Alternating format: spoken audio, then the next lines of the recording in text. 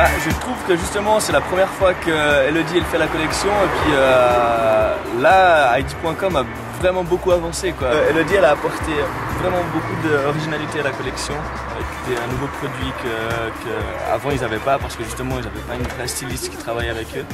Et puis euh, donc que du positif. Le photographe qui c'est? C'est donc c'est David, on, le connaît depuis beaucoup d'années aussi, il, il, fait les catalogues pour Heidi.com depuis le début. Euh, très fort. Euh, d'ailleurs, il fait avec la Super Mafia, ils font des, soirées, des projections euh, en, en soirée. Et c'est vraiment très très bien ce qu'il fait.